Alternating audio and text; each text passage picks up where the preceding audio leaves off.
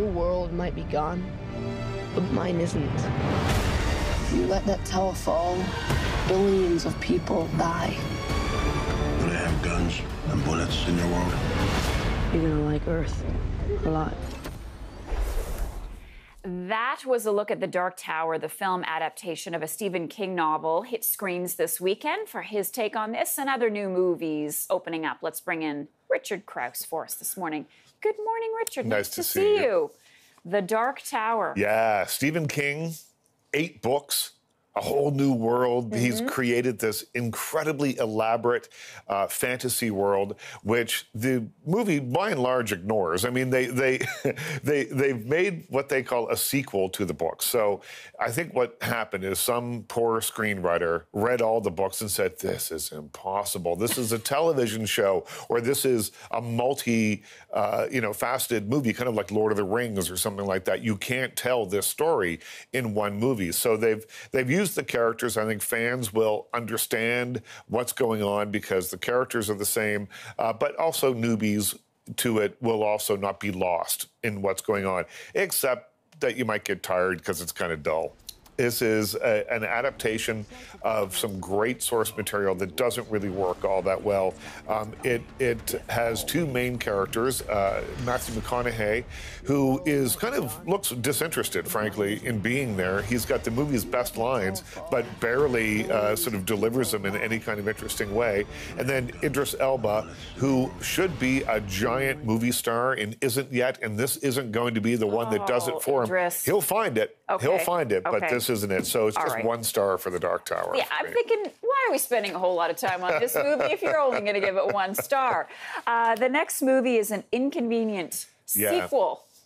And it- Al Gore is back. he's back. So, 10 years after the PowerPoint presentation of An Inconvenient Truth, which won an Academy Yeah. Award for Best Documentary, he's back with a follow up. And, you know, this movie is more of a movie. There's more interviews, there's more footage. It's not just facts and figures. And, and that part is, is quite effective. I mean, you walk away from this movie remembering some of these quite startling images of roads melting in India and anticipatory mass graves being dug in Asia because there's some hot weather coming that they're just not equipped to deal with. And so they're digging graves for the people that will pass away from uh, heat, uh, from the heat.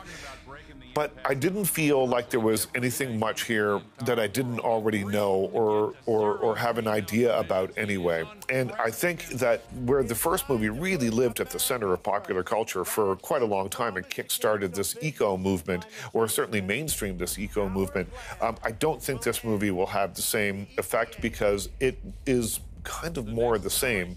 Uh, and Al Gore as passionate as he can be, it sometimes can be, frankly, a bit of a windbag. Uh, sometimes talking about this, and so it's a two and a half out of five star movie for me because it didn't set those, it, it didn't uh, light a fire under me in the way that the first movie did.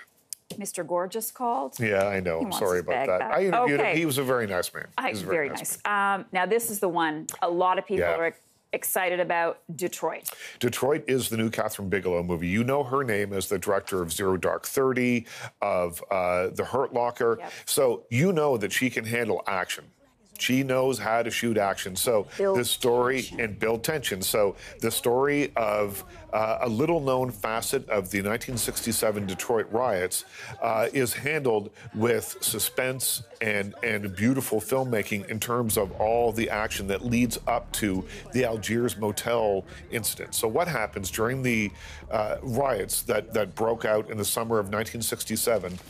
Uh, a number of people, and we start to meet the characters as the movie goes on. We get the history, and then we start to meet a young musician whose big chance in the spotlight at the Fox Theater is scuttled because uh, there's a riot going on outside. So he's pulled off stage. He grabs him and his band members, and he says, "You know, we have to go find somewhere safe to go. Let's go to the Algiers Motel. There's nothing happening there. It's a couple of blocks away from the from the really bad stuff that's happening."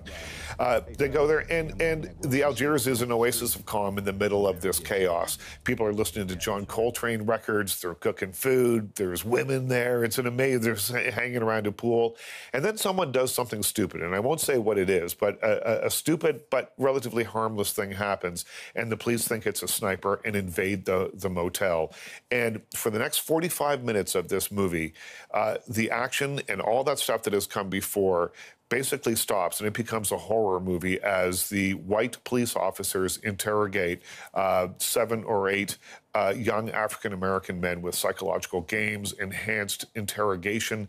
It is gut wrenching to watch, and Okay. which I think means that it's very successful in terms of what you do. That's obviously what Kathryn Bigelow was trying to do here. This is a movie that, even though it's 50 years old, you know, everyone's wearing, you know, 1960s clothes, that they're listening to 1960s music and that kind of thing. It feels very timely. Okay. Uh, you can't help but think of recent events in the news as you're watching it. So it's a four and a half or four out of five star movie for me. This afternoon matinee. Absolutely. I'm. Okay, Richard, thank you so much. Do we have 10 seconds that we can zoom in, please, Laura, on Richard's tie? Because this is fantastic. Well, is it- this a Batman tie? Uh, no, it's not. Well, it's Okay. also it goes with my cufflinks Pow. that say "pow" and uh, "bam." Perfect. Richard, thank you. See you next week. See ya.